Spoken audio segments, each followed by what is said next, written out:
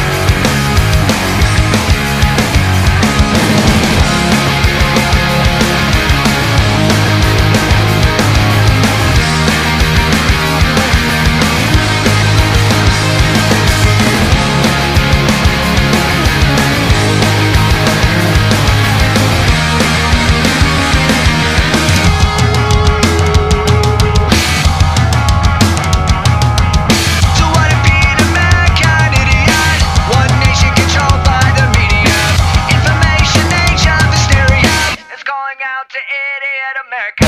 Welcome to a new kind of tension.